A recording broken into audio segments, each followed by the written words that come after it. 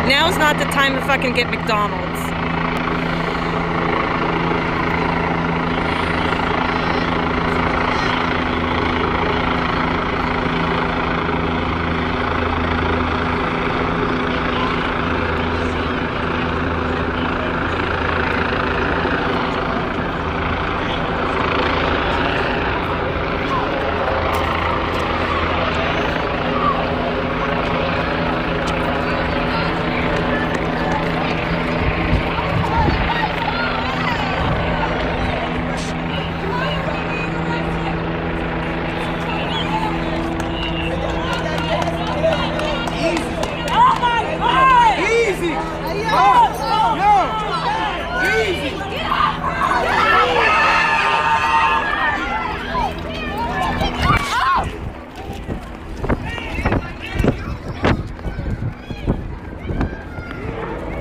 Police attacked a young woman and then threw tear gas at peaceful protesters and peaceful people who were simply trying.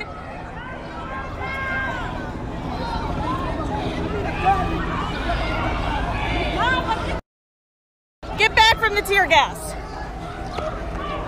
The police forcefully attacked a young woman and then threw tear gas at a group of people